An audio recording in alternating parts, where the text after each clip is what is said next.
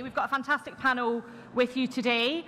I'm Kirsty McNeill. I'm the Scottish Labour and Scottish Cooperative Party PPC for Midlothian. I will obviously take the opportunity to say it's a fantastic place to visit. Please start planning your summer holidays now.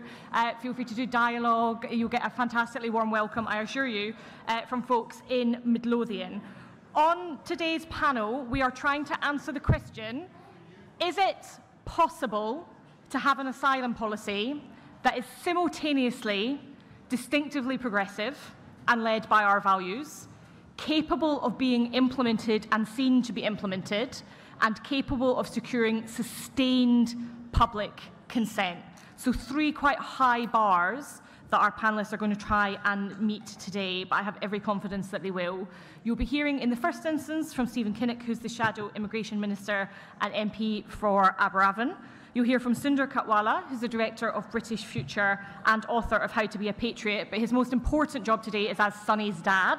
So Sonny is with us. He is 13 years old. He's come to learn about politics. Sonny, give us a wave. Right, so if you've got any advice to Sonny about uh, progressive politics, feel free to approach him after the panel. We'll hear from Sarah Mulley, who's a migration policy specialist and author of a forthcoming Fabian pamphlet on migration. Mike Tapp, who's the PPC for Labour Dover, Let's just remind ourselves of that. Uh, for Labour Dover, uh, who served in the Army, yeah, yeah, the National yeah. Crime Agency, and the MOD. And we were due to hear from Aderonke um, Apata, who's a barrister and founder of the African Rainbow Family, who's joining us online. She was unable to travel uh, due to the tube strike. So, a really fantastic panel for you today. Without further ado, I'll hand over to Stephen to kick us off. Well, thank you very much indeed, Kirsty. Um, and you've given me four minutes to uh, answer some very uh, uh, complex questions, actually, but I'll give it uh, my best shot and really try and stay uh, within time. Uh, the first thing I wanted to say is I think it's really great that we're having this panel because I think if we're honest, as a party, we haven't always been that comfortable in terms of talking about immigration, but the reality is that it is a really important issue out there. I think a recent poll last couple of days uh, from YouGov showed that it's about number three in terms of issues of salience across uh, the electorate, with economy and health being first and second. So it's a really, really important issue, and um, I'd like to pay tribute to Progressive Britain for putting it on the agenda today. Um, the, my brief is immigration, which covers both asylum and work-based migration. We're going to focus today on um, the asylum question, which I think is the right thing to do because the reality is that it is uh, the issue that is front and centre on the front pages of many of our newspapers uh, and in Parliament on a, on a very regular basis. So uh, I think it's right that we focus on that. But a very brief word on the work-based migration side. Um, we, we are committed to uh, keeping the points-based system uh, but we want a points-based system that will work far more effectively than it currently does. Uh, as things stand, there's no real connection between the points-based system and the real economy. No connection to productivity planning, no connection to workforce planning, no connection to, to skills and training to maximize opportunities for homegrown talent. So we need to have a new relationship with uh, uh, business and trade unions and government working together to ensure that we have sector by sector uh, workforce plans that demonstrate what is the immigration that we need so that businesses have the immigration uh, that they need to keep their businesses going. Uh, but that has to be balanced against their commitment to ensure that their opportunities for homegrown talent are maximised.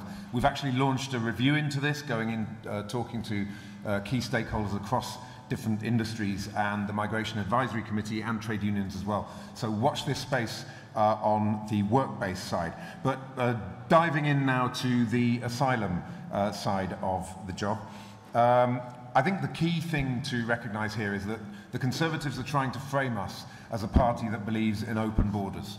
Uh, and they uh, want to try and peddle the myth that uh, we are quite happy for the small boat crossings to continue. That is clearly and patently not the case. Uh, which member of the Labour Party would be in favour of allowing criminal gangs to trade in human misery and have people risk their lives by crossing the channel in these uh, dangerous boats? Uh, nobody in this room and nobody in the Labour movement. And so it's completely in line with our values to say we are opposed to the small boat crossings. Uh, and in that, we agree with the government. Where we profoundly disagree with the government is in the methods that they are trying to put forward uh, to make that happen, because it's only going to make things worse. We're already dealing with a backlog in the system of 166,000 people who've been waiting for more than six months for their asylum claims to be processed. Those people are being left in limbo. We need a system that works so that people can be assessed quickly. If they're not genuine asylum seekers, they should be removed to the safe country from which they came because that is right for the integrity and workability of our system and for everybody to buy into our system, it has to work.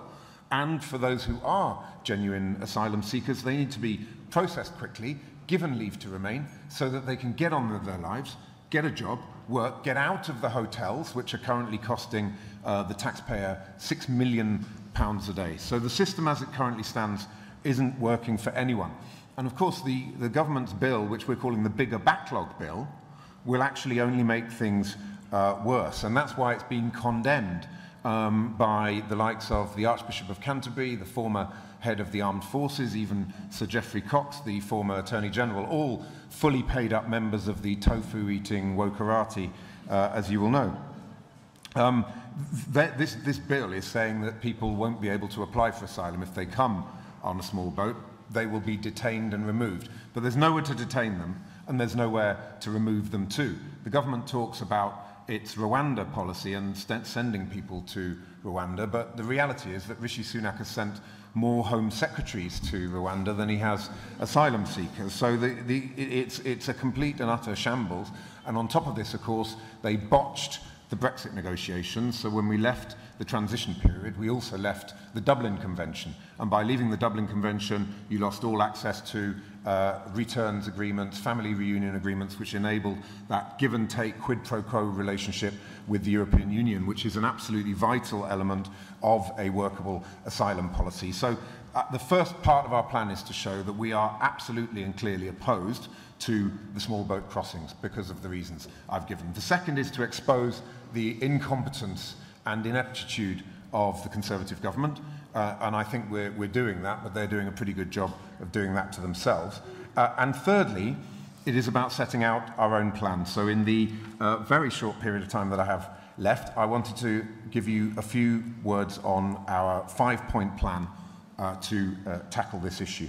First of all, scrap the unworkable, unethical and unaffordable Rwanda policy and redirect the funding from that into boosting up uh, the National Crime Agency and Border Force uh, and to get much more effective uh, work in terms of cracking down on the people smugglers upstream. So not just dealing with this issue once it's on the beaches of Calais, but actually going after the people smugglers uh, much further upstream. And I know Mike and others can talk about this with a, with a great deal of, of uh, knowledge as well. Second, we have to agree a returns deal with the European Union, which would be a successor to the Dublin Convention, we live in the real world. We know that you can't negotiate anything with the European Union or anything in life more generally, in fact, unless you put something on the table.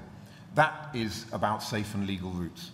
So we have to be going with a, a bold offer to the European Union saying it, we will have safe and legal routes for people to come to the UK, but in return you have to accept that when people come illegally on a small boat, they will be sent back to mainland Europe, where, by the way, if they want to come to the UK, they can apply. Because the only way to break the model of the people smugglers is to make it absolutely clear that anyone who's prepared to pay 5,000 euro to somebody to come on one of these uh, boats across the channel, it, the moment, if they know that the moment they arrive in the UK, they'll be sent back to main, mainland Europe, they will not come. That's the because the people that we're talking about here have got a very high degree of risk that they're prepared to tolerate. So we have to have a deterrent that actually works. Thirdly, it's about the backlog. Um, we have to upgrade the seniority of the caseworkers and decision makers. In 2013, they were downgraded. Massive exodus from those teams in the Home Office, and that has led to a 46% attrition rate in that Department of the Home Office last year. No wonder they're not processing the cases anymore. No wonder the quality of the processing has gone down, so they're much more vulnerable to uh, legal challenges, and that clogs the system up even more. Fourthly, the resettlement routes, particularly Afghanistan, is not working at all. We've got to get that fixed and, and working properly. And finally, addressing some of these issues at the root cause of it, which is about getting our FCDO overseas development working much more effectively in terms of conf conflict resolution conflict prevention, identifying areas of work where we can really work with countries which are originators of, of large numbers of, of asylum seekers. So in conclusion, I'd say that um, we have to deal with the uh, fact that the Conservatives are doing this mainly as an exercise in misdirection. It's about saying, you know, uh, the, there's cost of living crisis over here, hollowed out public services over here, international reputation being trashed over here, but don't look at that, look over here where there is um, some scapegoating that we can do around um, asylum seekers. We know that. We, we don't play that game. We constantly expose their incompetence and ineptitude because we know that a lot of people who voted for the Conservatives in 2019 did so based on the promise that there would be secure borders and controlled migration, and, and they're not getting any of those things. Uh, we know the Tories can't stand on their record. They're blaming everybody else, blaming the judges, blaming the European Union, blaming the courts, blaming uh, the civil service, even blaming uh, Gary Lineker for all of their troubles. So um, we're not going to play that game either. We've got to ensure that people know where the buck stops. We've got to hold them accountable for that. And we've got to set our, our own plan, workable, pragmatic, based on common sense and hard graft and quiet diplomacy to actually tackle this issue and to fix the asylum system that the Tories have broken. Thank you very much.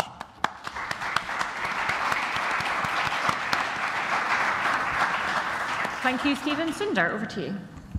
Th thanks very much, uh, Kirsty, and thanks to um, uh, everyone involved in the Progressive Britain Conference for the chance to participate. British Futures are independent, non-partisan think tank that's interested in how we have public confidence on issues of identity where we build more common ground, especially on issues that are polarizing like asylum and immigration. I think, um, you know, I agree with a lot of the analysis that Stephen has set out. It's worth, I think, understanding that this is an issue of anxiety and potential avoidance for people in the Labour Party and people on the left. I think that reflects some of the scars of the last decade. I think um, in the broader immigration debate, it's moved from being about asylum to being about free movement to being about immigration. But the, the loss of public confidence in how governments handled the scale, pace and experience of immigration is a, was a big part of the politics of 2014, 2015, the Brexit referendum of 2016. I think one of the interesting things that happened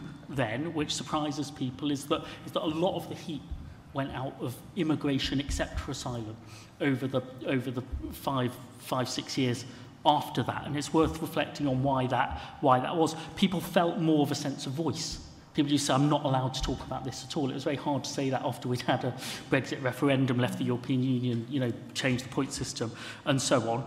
It also became much less one size fits all.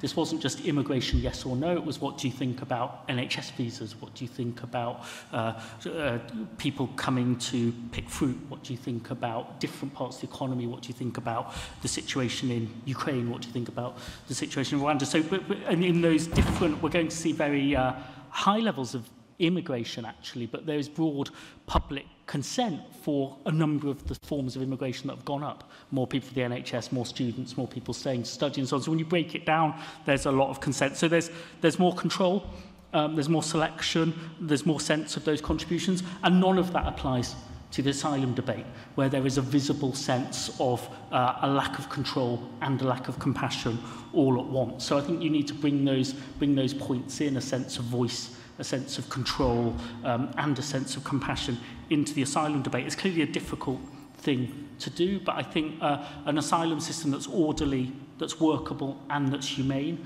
has to be what, what you're aiming to, to, put, to put together. So it is very important to reiterate something that Stephen has said, which be very clear that dangerous journeys across the channel where people risk their lives and are being exploited is nobody's idea of the asylum system we want to see. People might have extremely different views about, about how, to, how to change that very tough policies, much more uh, compassionate policies, but, but nobody wants what we've, what we've currently got. Um, and so how you, how you marry control and compassion in a way that's manageable. It is extremely chaotic, but we have to give a, a proposal that it is and should be manageable. If this becomes absolutely unmanageable, people will just turn off and blame somebody else for it. So we need to be much more pragmatic about it. I think um, anyone who follows this area for a long time knows that in a way, the more headline grabbing, you know, promises of very dramatic things to put on the headlines, the less you're doing the really hard work of really the boring solutions that you negotiate on, that you fix systems on and so on. I think you have to be clear about why you're doing that, but, but we need to try and take the heat out of it, not put the heat into it. What Labour will inherit once this new piece of legislation is passed. And the government is more or less passing the same piece of legislation, I think, a third time now say we'll pass a law that will stop the boats. Well, if that would work, last year's law would have stopped would have stopped the boats. So it, it isn't it isn't going to work, and we could be spending you know, 140 million pounds already gone to Rwanda.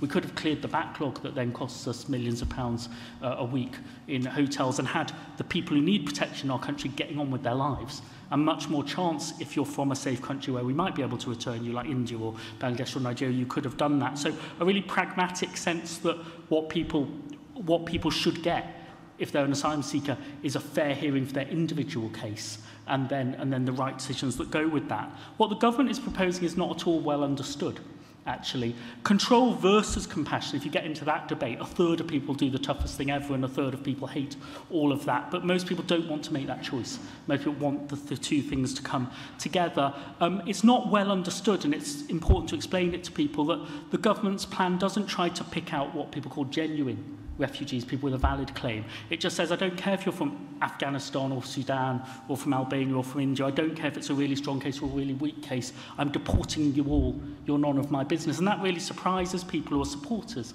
in principle of a tough approach. You know, maybe we'd send people there when their case has failed. Maybe we'd send people there and bring back the people who had a valid claim. There isn't a real understanding of what the government is proposing is the abolition of asylum.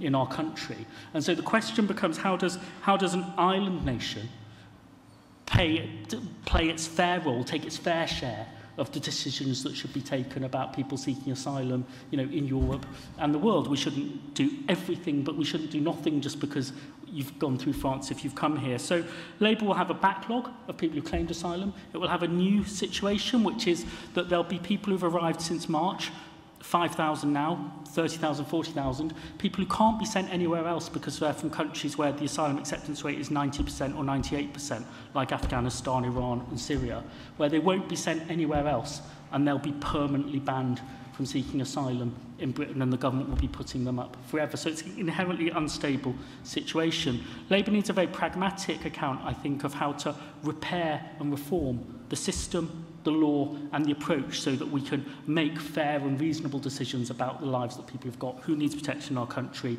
who, whose claim didn't work and what, and what happens to them. One final thought is think there's now a, more of a consensus on who gets a visa to come and work and study in Britain. We should welcome that. That's quite good.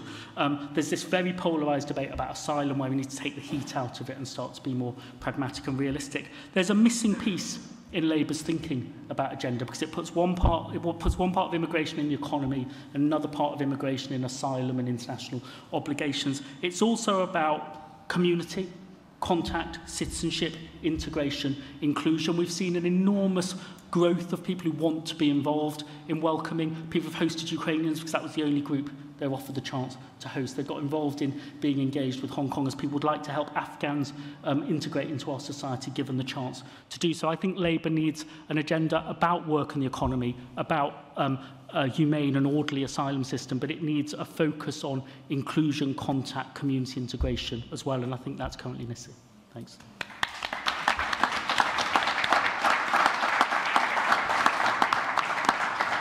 Sarah, over to you. Thank you. Um, I agree with a great deal of what's been said, so I will try not to repeat it. Um, I suppose to start with, I would just like to say that I'm an optimist on those very difficult questions that we were posed as a panel. I think it is absolutely possible to have a migration policy and an asylum policy which is based on distinctively progressive values, which is deliverable and which is politically and democratically sustainable. I think that's absolutely possible.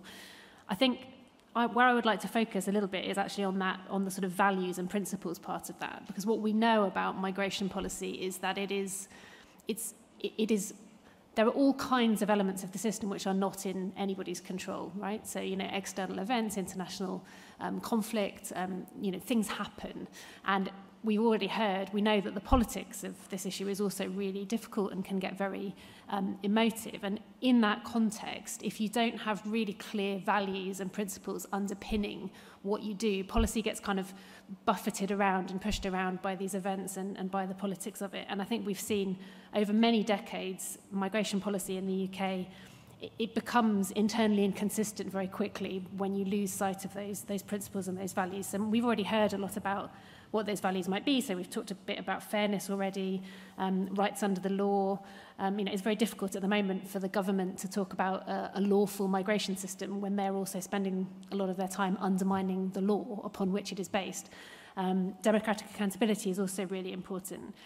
And I think it's worth thinking about why this is an area of policy which goes wrong so badly, so often, under, under different governments with all kinds of different political contexts. And there are some really deep rooted systemic problems here. And I think accountability is a big part of this. So the, the mechanisms which you know, we rely on in other parts of um, government and public policy to hold systems accountable and to make sure that they are delivering what governments want them to and that they're delivering what the public want them to and that they're accountable to parliament and that they're accountable to communities so much of that is lacking when it comes to migration policy. So we have very weak um, mechanisms of accountability to Parliament, for example, just because of the way um, migration policy works. We have really weak accountability to local communities. Um, so I've worked in um, local and regional government for most of the last few years, and you know it's really difficult for local government and local communities to engage with governments on migration, there were, sort of, there were just very few mechanisms for that. And also, we've seen with the Windrush scandal that there are, you know, what happens when the people who are most directly affected by this system do not have a voice in it. And the government is now rejecting the recommendations, some of the recommendations coming out of that Windrush experience, which would have strengthened that voice and given people some way of engaging with the system. And I think unless we tackle some of those underlying structural problems, it, this is going to continue to be an area where different, you know, different governments with different politics and facing different issues will always struggle because we know that regardless of politics, unaccountable systems fail. You know, we need to all of us engage on this question. This is a whole of society issue. Um, and finally, I, really strongly agree with um, Cinder's point at the end there about um, communities and citizenship. And I think it's, it's really important to think about how we are engaging people in the process of them becoming part of us. We, you know, immigration tends to be a conversation about insiders and outsiders, them and us. And I think as progressives, we need to be thinking about how we ease the journey where people can actually become part of us and become part of the nation and part of the communities. So there are hundreds of thousands of young people, for example, who are entitled to British citizenship but who do not have it because of high fees, complicated processes, lack of documentation. They are locked out of higher education, they are locked out of employment.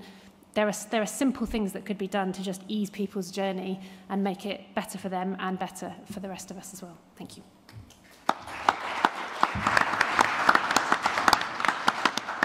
Over to you. Thank you. So I'm going to try and add some value from, from my perspective. Um, obviously, what we've heard so far has been, been fantastic and really interesting. So I started off in the military, so I've actually been to these places that people are fleeing, and quite rightly, and I completely understand why. And that's why all of our immigration chat and, and, and um, uh, essentially what, what we put into policy must come from that place of compassion uh, and that understanding as to why people uh, flee these places. the National Crime Agency, uh, I've seen how we've tried to battle this and, and some of the failures around that. Uh, I now work for a Labour Member of Parliament where I'm dealing with uh, a lot of the casework because of the backlogs uh, in the Home Office. So I've also seen that end. And I'm, of course, battling for uh, election in Dover, where this is one of the, the top issues on the doors. So I'm going to start off by, by talking about what I'm seeing in Dover, and it's actually really interesting. Uh, there's one particular ward, one particular estate um, out to the west of Dover, which is really at the forefront uh, of this concern. And, and that's where you've probably seen in the news that um, uh, someone came off one of the boats and went into a house and um, potentially threatened them, and, and it made the national news. And this, this really did get tensions uh, quite high in that estate. Um, So I'd been knocking on these doors. Now, my first round on this estate, the door was shut very quickly on me, uh, open border labour. Uh, and that, unfortunately, is a hangover from not addressing this issue. So it's really important that we do. And I know Stephen's doing a great job of that, as is uh, Yvette and, and Keir. My second round, some of those doors uh, were staying open. And I listened to them. And, and it was often the top concern, and quite rightly in their minds. And there's nothing wrong with that. And we have to accept that as a party that this is a very important issue to lots of people, so we have to deal with it.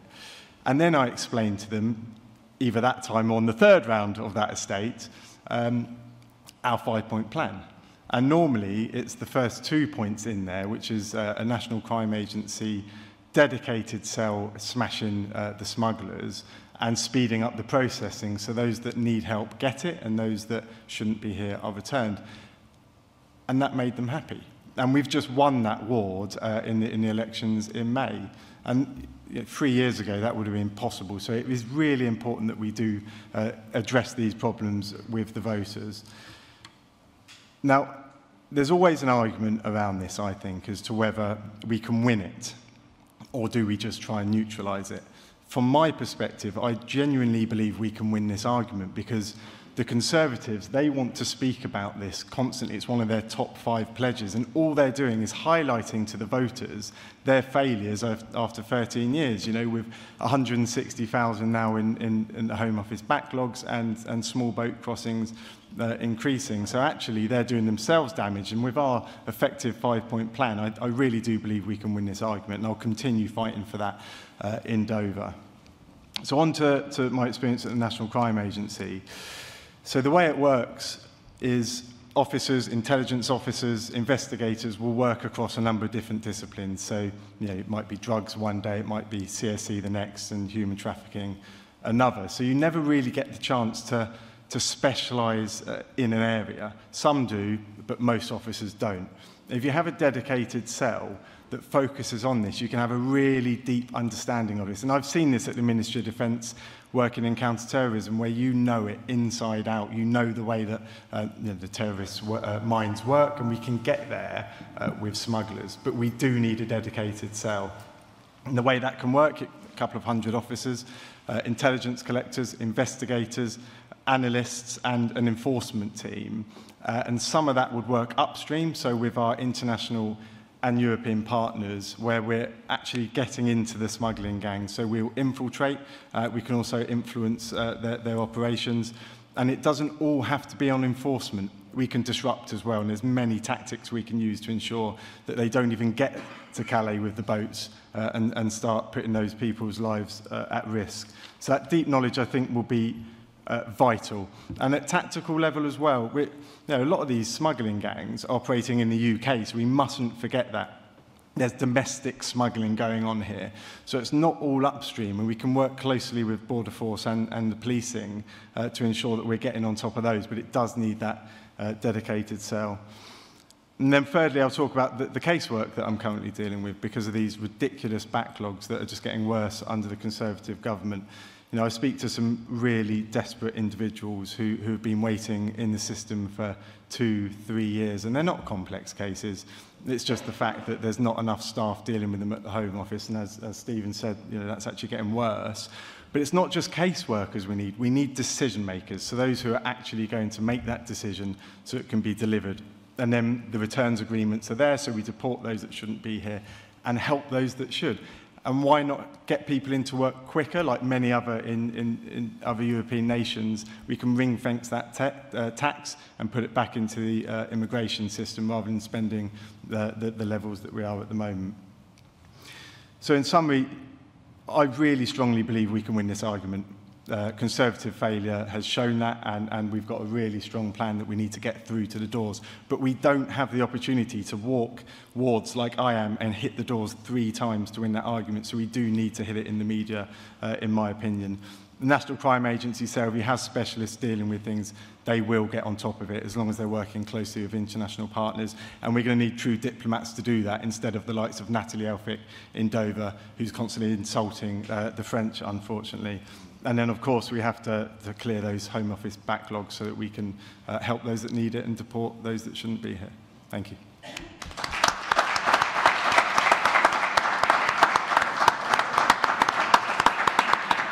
And finally, Aderonke, over to you.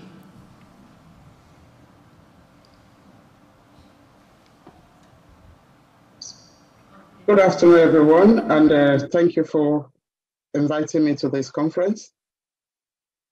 We've all heard from everybody, and I'm sure everybody knows what this bill is all about. It is just an outrageous expansion of the Nationality Border Act that was passed last year. There's no difference between the two, it's just expanding it and making it more toxic for people to come to the UK. I'm not going to bore you about all of the difficulties of this bill, which you all know about. But we know that the right to seek asylum will be abolished in this country if this illegal migration bill was passed. And it is going to ensure that the government would have unlimited power to detain people just as they fit. Not only that, it would also cause the fact that the human right of people will be trampled upon. And this makes me to think that if it is tested with people who are seeking asylum, this can then be tested with people who are not seeking asylum who are British nationals. Because if we remember, or even look through the bill, Section 19.1b of the Human Rights uh, Act, it is not compatible with it at all because the government accepts that this bill would in fact be over 50% compatible if that is the case, why should it go ahead? Because once this bill is passed into law, you can't be sure that it will be tested with other people's rights. And where are we going to be at that point? But my contribution to this conference is to, in addition to what has been laid down as Labour's plan, is to give you some suggestions that I think would help Labour government to have an immigration and asylum policy that will be fit for purpose, that will be compassionate, and also would respect the human rights of everyone, not just the people that are seeking asylum. We would like the uh, Rwanda policy to be abolished by Labour government. Some have told us today how much it costs for that scheme to go ahead. And how much it's going to cost thereafter. Because in that scheme, there is no oversight, there's no accountability. Access to justice will be denied no one knows how that would work. And the Britain that I think I know, prior to coming to this country, some 18 years back, is the beacon of human rights. But I'm afraid, with the tension that is going on with asylum and immigration right now in Britain, and if this bill is allowed to go through and become law, that beacon of human rights that I used to see the Britain, I don't think that would be the case anymore. Therefore, we want this Rwanda policy not to see the, day, uh, the light of day at all. We don't want it because of so many reasons that you are more aware of than I am. And there should be legal passage they're talking about wanting to break the smuggling cycle, which is okay. But how do you do that? We know that if there is illegal passage, one that is safe, people would not go to the smugglers. That's the best way to break it. People would not die. We would not be seeing children being swept, dead children being swept to the shore of the sea every time, like we see now. What is going on in Sudan, for instance? I don't know if there's anything in place for Sudanese that are going through war to be able to flee safely to come to the UK. Therefore, this bill, if it is passed, will become one that is racialized. There will be a lot of racism embedded in that bill.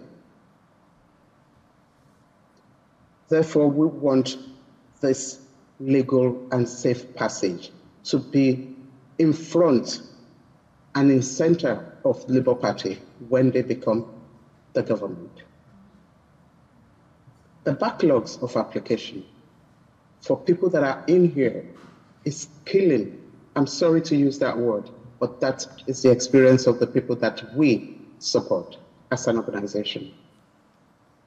People are gone into depression. They've been waiting for two, three years even to be called for the second interview, which is the substantive one. So, which means they don't even know what is going to happen to them. They don't. They have no clue. They are in limbo. If somebody's life was stopped for six months, one year, two years, let us all think about it. What does that mean to that person?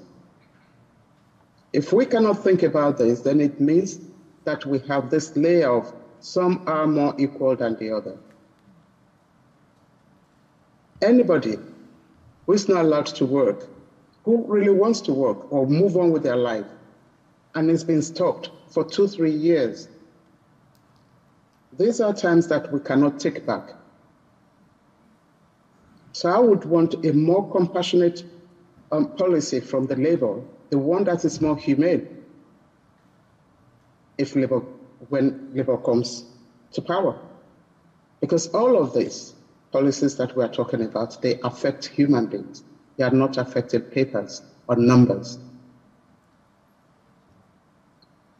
Even there's going to be reduction in the pressure of the NHS if you have a more compassionate system, because people would not live in limbo. Their mental health would not deteriorate, that they would have to depend on the, the NHS at the end of the day.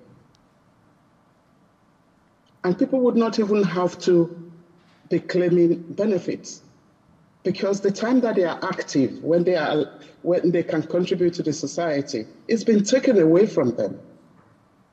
But if they are given that chance to work and have their asylum system um, decided, and then they have the right to work, that's the time that they can work and contribute. They will not become a burden at the end of the day to the benefit system. The angle that I'm coming from is that the angle where the UK continues to exercise and respect its own obligations to human rights. Also, we need to think about survivors of trafficking. With this bill, there's no protection for them. Someone who's been trafficked, who's gone through modern day slavery, only to be turned down and being told that you have no right to even appeal anything. Everything goes back to being compassionate. Aderonke, can I ask you to just draw to a close so we've got time for questions? Yeah, sorry. yeah, so I'm going to just wrap it up and say all of these policies that we are talking about, what I want is a more compassionate and humane policy for the Labour Party. Fantastic note to end on.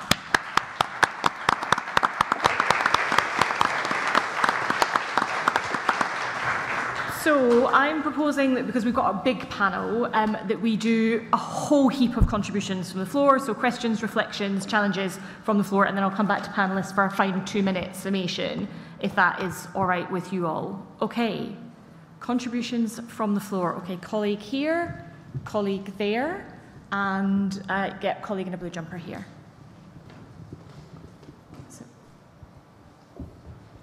You go first, um, thank you to the panel. Uh, my name is Liam Martin Lane. I'm a Camden councillor. I'm really, really privileged to represent a really diverse community here in this borough, and I definitely support the call for a more compassionate system here. But I also support a system that tries to deal with issues at source. And I think one of the reasons why a system really is not working is because we've got a government that is isolationist, that does not deal with the trigger and push factors that causes people to be refugees right now. There are not just conflict refugees, there are climate refugees, there are political refugees. So can I just encourage through potentially the idea of the restoration of a standalone Department of International Development to reassert our influence and our values abroad to be part of actually dealing with issues at source that stops people having to go down this really, really painful route of seeking asylum in the first place. Thank you.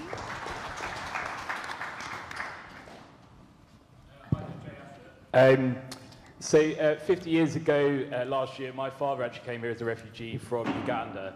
Uh, and at the time, I think the debate probably was very much along the lines of some of the debates that we're having today. Um, but at the time, Edward Heath's government saw it as the moral duty of a civilized nation to help those people fleeing Idi Amin. Um, and we uh, took in and housed and settled 30,000 uh, refugees from Uganda uh, as part of that process.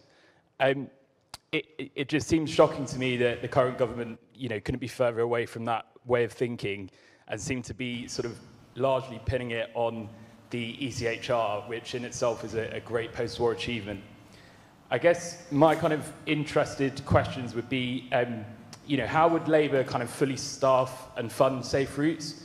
I think, you know, uh, part, part of the way that we sort of break some of this is to actually give people the hope that they'll have a fair chance of coming to this country when they're in desperate need.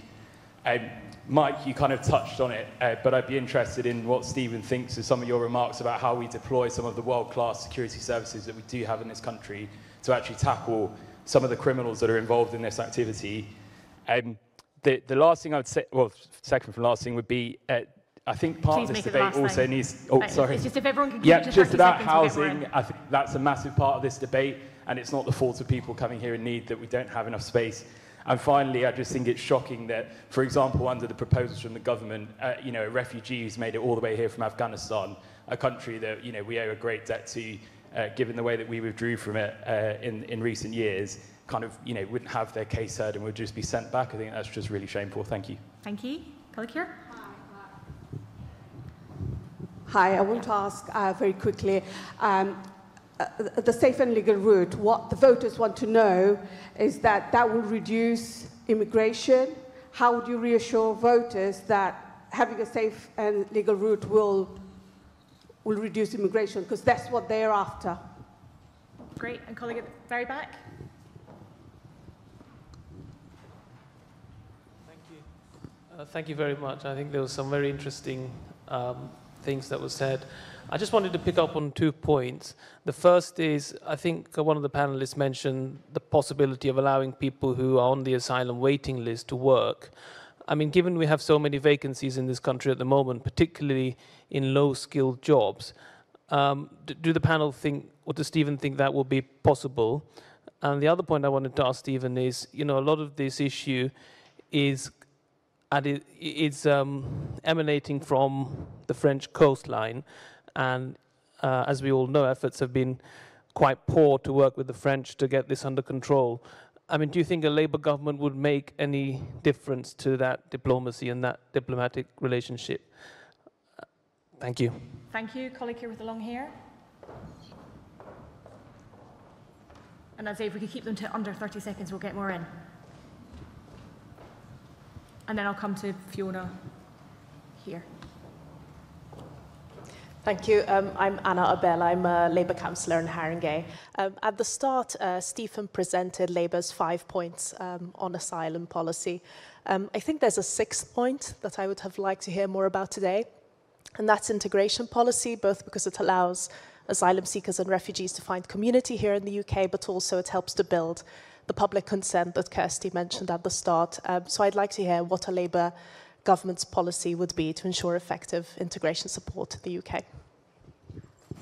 Um, in terms, Fiona Mactaggart, uh, I used to be MP for Slough, and um, it's really good to hear some very practical things like improving the quality and experience and training of people who are making decisions, which will make a great difference But can I suggest two things which have been tried before, which we might think about? One was that after the fire at Sangatte, there was for about two days a Home Office uh, desk set up in the area where the kids were congregating, trying to get to Britain, which actually took decisions on a group of individual cases. If we could get an agreement to set up a post briefly in northern France, I think it would uh, bust the boats more than more effectively than any, anything else because uh, applicants would go there. And then the other thing which has been tried before, and it echoes something that someone else has said, is that under Labour, there used to be a policy which, if it took six months to decide your case, you could then start to work. We could commit to that again, and it would be a way of ensuring that we would speed up individual decision making as well as getting some very skilled and talented people into our workforce that we need. Next, I think probably the last one. Uh, George Byrne. Um, first of all, just say I agree with a lot of what Sally and Sunder and Aderonke said, but my question is really for Stephen. Um, this is a global issue. It's not just about the UK and France. This is a crisis that's playing out in new ways across the world. I'd be interested to hear what you envisage would happen with a Labour government working with governments in other parts of the world, perhaps to reform the, the Refugee Convention, which dates back to the 1950s, perhaps to work in new ways, lessons learned, and, and so on. And by the way, Mike, very quickly, I was on the streets in Deal last week, and everybody seems very receptive to the Labour message, so all good. Okay, we've got time for one more if it's a 30 second question. Yep, colleague at the back here. Hi everyone, my name is Chris. So I just want to touch on the point which uh, was mentioned by some of the panelists around the 1% claim processing. So I just want to understand what is causing the slowness of this process and what will Labour government do to make sure that we can speed up the processing as well. Okay. Thank you. Fantastic. So I'm going to come back to the panel now. You've got two minutes each and I will cut you off. Uh, Sarah. Um, a couple of quick thoughts on processing. Um, we've already, it's already been mentioned, but increasing the status, the seniority and the pay, bluntly, of those roles is really important. Um, it would really help if the government would stop passing legislation that makes decision making more complicated and more difficult because every time a new piece of legislation comes through, it makes all the decisions more complicated and harder to determine. And in terms of funding it, you know, you could start by stopping spending money on gimmicks like the Rwanda scheme and putting that money into into processing. So I think you know there's some quite clear kind of good public service management stuff that could do quite a lot there. I just wanted to pick up the point about the, the Sangatte experience. I think it, it's really worth looking back at that, both because there was processing in France, but also because people were offered the opportunity to come to the UK on a range of different routes. So what we do at the moment is we force everybody to come through the asylum route, which is the most complicated and difficult to determine. And actually, I think a lot of the people who are in northern France would qualify under family visa routes, work visa routes. We should be more open and pragmatic about the different ways that people could come because it's very silly to have somebody who would qualify for a highly skilled worker visa and come and add to our economy being forced through an incredibly complicated, time-consuming and painful asylum process when we could allow them in through some of those other routes. And that was another thing that was really successful from that example. I shall pass on. Great. Stephen? Thank you very much. Some really great questions. Uh, I'm going to try and group uh, three things together, which is about integration and housing and work. And the, the fact is that all of those go back to the question of processing. Because as, if you've got people in limbo, you can't integrate them, they can't work, and you can't find them housing. They're stuck in hotels, they're stuck in inappropriate uh, initial accommodation, which is already uh, packed to the rafters. So I think it, it does all lead back to this make the decisions quickly and then allow people to work once they have uh, leave to remain. Uh, by the way, on work, our policy is that um, people should be allowed to work after six months. So if, if they've been waiting for their uh, claim and they haven't got it, and we, we need to go back to the actual service standard that there was, uh, which was um, every decision should be made uh, within six months, and that service standard was quietly dropped, and that's been a part of the process. So I, I'd say that I think the, the points on housing as well, there's something there around the need to ensure that we've got a fair distribution across the United Kingdom. Uh, we see some local authorities across the UK uh, taking far more than others. So there needs to be a... Um, a, a proper negotiation between the Home Office and local government, better coordination between Home Office and DLUC uh, to make that happen. Questions around uh, the relationship with France. Um, I think, well, it's absolutely clear that the Conservatives have spent the last few years destroying our relationship with our partners and allies. So there's no doubt at all that Keir Starmer as Prime Minister would be able to um, establish a far more grown-up and productive relationship. Key to that is getting a returns deal, key to getting a returns deal is safe and legal routes. Safe and legal routes need to be offered by the UK, uh, um, not just because it's the right thing to do in terms of reducing the number of people then that would come on small boats, because it destroys the model of the people smugglers if people know that they can actually come on a safe and legal route. Right now that doesn't exist. For somebody trying to flee Iran or Sudan or Eritrea, there is no safe or legal route. So that has to happen, but that has to be connected to getting a returns deal so that those who do come on, uh, a, say, on a small boat know that the moment they land in the UK, they'll be sent back to mainland Europe. We only get that deal with mainland Europe if we have a clear uh, uh, offer in terms of um, safe and legal routes. And the, the question about the uh, global issue is absolutely right. Um, that's why this ridiculous thing the Tories keep saying about, well, they've come from a safe country, which is France, they can all just stay in France. That's just absurd. The entire refugee system collapses if you just leave it all on uh, the shoulders of, of one particular country. So um, we have to have that um, recognition with the EU. But of course, the, this, the returns deal has to be done with the EU, not with France. There's, there's something called the um, uh, refugee and asylum management system, uh, a regulation on that, which is being negotiated right now in the EU, which is the, successor to the Dublin Convention. We have to make sure that we can plug into that. Um, we'll only be able to do that once we have a Labour government and then we can actually get our negotiations and relationship with the European Union uh, back on a much more stable footing. Thank you. Uh? Thank you. I'll, I'll touch on th three of those areas and see, see if I can add, add a little. Um, so in terms of defeating this at source, this is where I think we need to start leading as a nation. And, you know, I'm a true patriot and I mean that, uh, unlike a lot of the Conservatives who wrap themselves in flags and then destroy the country. And we can lead from the front. And a part of that is ensuring that we are bringing others up with us. Uh, and it is our commitment to bring uh, the, the spending up for international development up to 0.7%, I think it is, um, yeah. after it's been um, sort of reduced by, by the Conservatives. That's really important, but that has to be a minimum. And this is where we can go back to looking at our, our green uh, agenda in, in the United Kingdom and creating uh, a green economy. And once we, we get that working, we can then export that to other nations and bring them up with us. And it is about leading from the front, and we are obviously going to see uh, the climate crisis adding to, to the migration issue uh, as the years go on. Uh, the second point I'll look at is uh, we talked about deploying security services um, around the world. We must, and we do have the, the, the finest uh, security services in the world, the finest police and the finest military without any shadow of a doubt. Underfunded, but the training is fantastic. And unfortunately, our isolationist approach that we're seeing under the Conservatives has essentially kept, kept them at home. But this does, I'm not talking aggression here, I'm talking soft power and bringing people up with us. And we have to deploy uh, across the world to, to counter these cross-border complex uh, issues like, like migration. And then one more thing on, on slow processing. Uh, from what I see, it's about decision makers. We need more decision makers, and we have to be creative, and we have opportunities around artificial intelligence that we could perhaps uh, bring into this. Thank you. Sindar?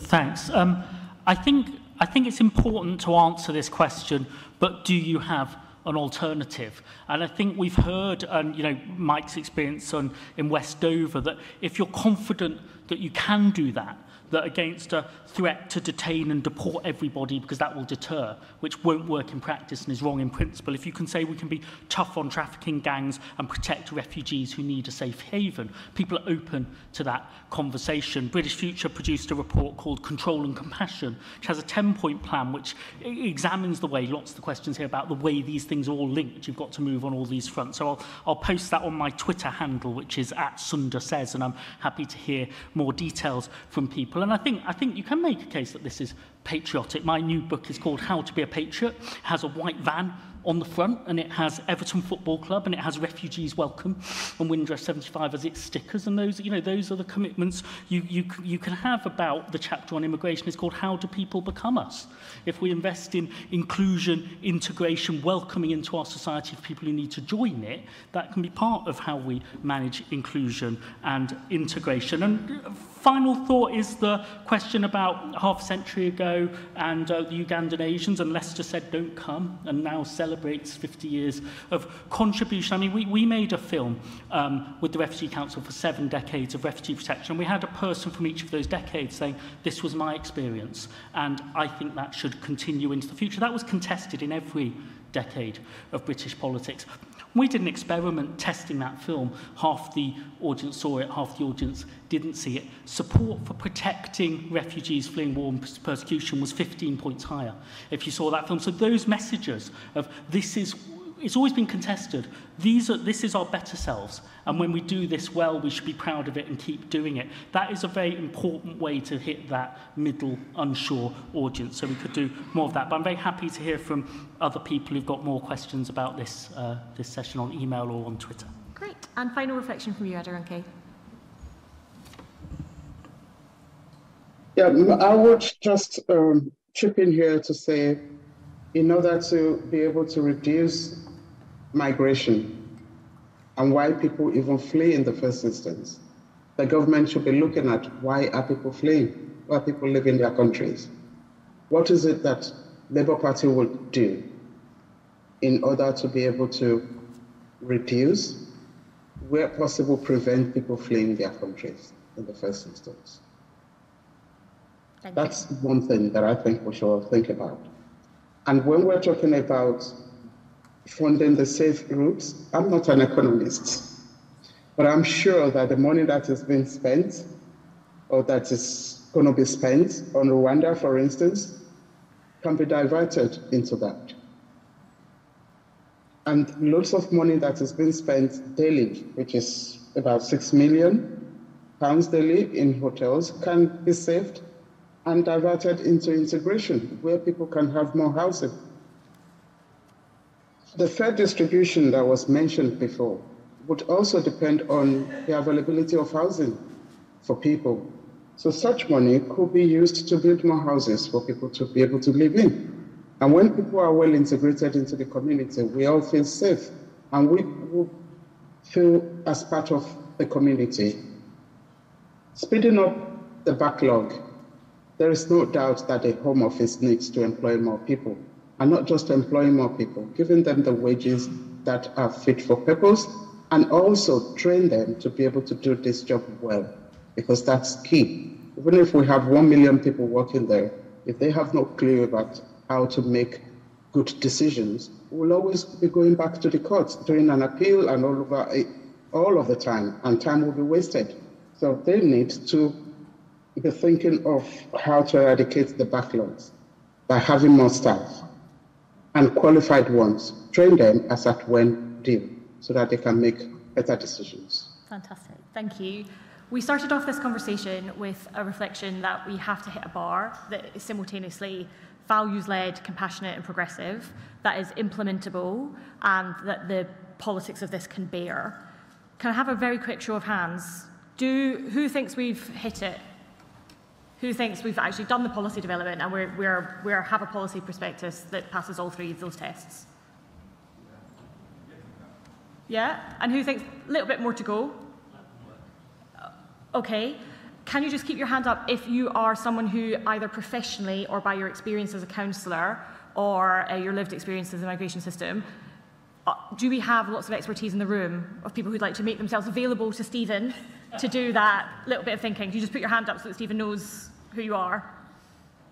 I, I regularly come to CLPs to do have a chat basically. I give a 15 minute spiel and then I'm very happy to do Q&A with your CLPs. Fantastic. So um, we can make that happen either in person or on Zoom.